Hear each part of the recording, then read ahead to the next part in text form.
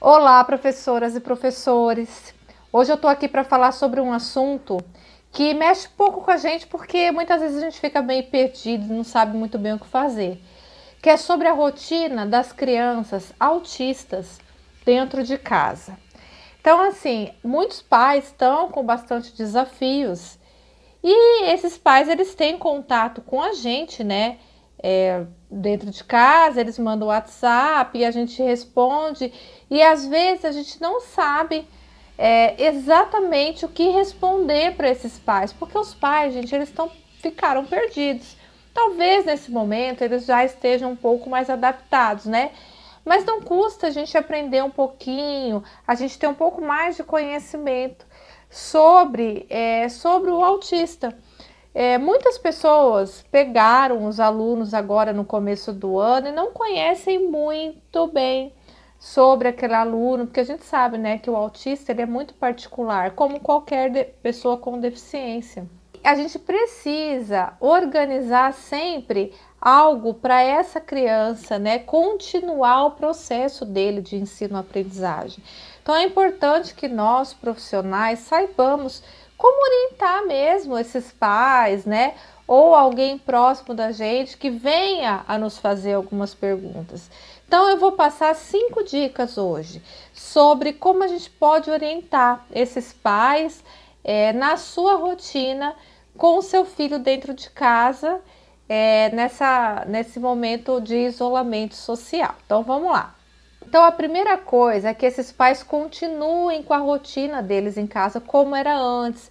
Então, eles precisam tentar manter essas atividades como se fosse antes da pandemia mesmo. Então, a criança ou então aquele adolescente que tem autismo, eles ficam muito mais tranquilos quando eles sabem o que, que vai acontecer no dia a dia.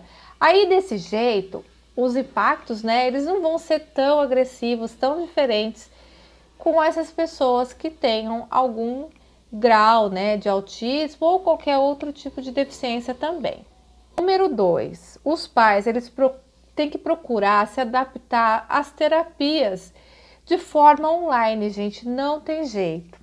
Porque é importante que essa criança ou esse adolescente ele, eles tenham um contato né, com os especialistas, mesmo que virtualmente, então, se um pai perguntar se é importante, não vai ser a mesma coisa, é claro que não vai ser, como se ele estivesse olhando no olho da criança, mas é necessário que ele continue as terapias. Eu estou com um caso de uma criança que ficou sem ir para a escola, né, um autista, e o que, que aconteceu? Tudo que a gente havia aprendido durante no, nos últimos né, três anos, ele é como se tivesse esquecido. Porque no começo era aquilo, olha, não pode fazer isso, não pode ir para lugar nenhum, tem que ficar dentro de casa, né? E virou essa coisa toda. E aí os pais não levaram na, na terapia, porque eles foram orientados a não levar mais. E a gente não tinha essa coisa que hoje tem as consultas online, tudo isso.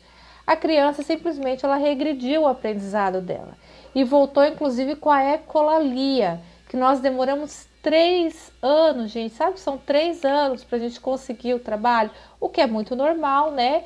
No autista é um trabalho constante. Então ele voltou. Agora vocês imaginam tudo de novo. Então é importante que a criança continue essa terapia, certo? A dica número 3 é que é importante que os pais programem é uma rotina mesmo de atividades físicas porque é uma maneira que a gente pode manter a criança se movimentando. Ele já fazia isso na escola, então é importante que ele tenha essa, essa coisa do movimento corporal. Então, existem várias sugestões, é claro que depende muito de caso a caso, né? Mas eu posso falar que a gente pode jogar bola, qualquer tipo de jogo, né? É, saltar as almofadas, então os pais jogam as almofadas, eles podem saltar podem encher bexigas, porque trabalha a respiração, né? Rolar no chão para sentir o corpo e entre outras coisas, né? Engatinhar, que é um trabalho de coordenação motora maravilhoso. Passar por obstáculos, né? Você põe os obstáculos na sala e vai passando. Brincar de estátua, porque melhora a ansiedade, ajuda, né, a trabalhar isso amarelinha. Gente, amarelinha é maravilhoso, né? São vários benefícios da amarelinha. Entre elas, você contar, né, a contagem mesmo, a própria coordenação motora, a vez do outro, né, que seria o pai ou a mãe ali perto. Além do vivo ou morto, que é a atenção, a memória. Então é muito bom, né? Dica número 4: a gente precisa manter uma alimentação saudável para essas crianças. Então, o que está acontecendo, gente? Eu estou vendo muitas crianças engordarem, muitas crianças acima do peso, muitos adultos, né, acima do peso, porque nós estamos em casa e a tendência é a gente colocar um filminho para assistir, comer uma pipoquinha. Não tá errado, gente, tá super certo. Só que a gente precisa continuar na manutenção do nosso peso. E porque que, que vai acontecer? Se começar a engordar, pode virar um caminho sem volta. Então, tem que cuidar sim da alimentação, como se a criança fosse para a escola, como se a criança fosse em algum médico ou fazer alguma terapia de alguma coisa. Então, tem que tomar o café da manhã, o lanche da manhã, almoço, lanche da tarde, jantar e ceia, como se ele tivesse uma rotina normal e sempre com lanches saudáveis. Então é importante que a gente oriente isso aos pais, porque senão, né, desgringola a saúde e aí pode vir outros problemas, né, que a gente sabe que, que pode acontecer. Então, a dica número 5 agora e última dica. É importante que os pais, não só os pais, mas nós enquanto profissionais, converse sempre. Verifica o que está acontecendo com esse aluno. Porque, gente, o diálogo ele é super, super importante, né?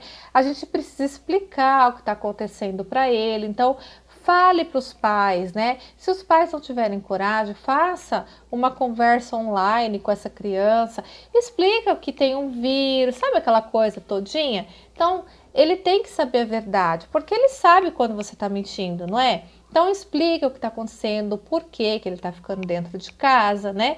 Então esse diálogo é de suma importância para o desenvolvimento dele, para ele não se sentir enganado, não se sentir passado para trás, né?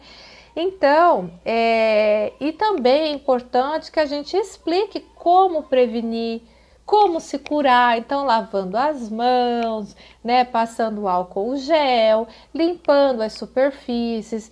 Isso o pai precisa mostrar. Então, se um autista ou uma criança com outro tipo de deficiência é, precisa ser olhada nos olhos, coloque, sente e converse com esta criança.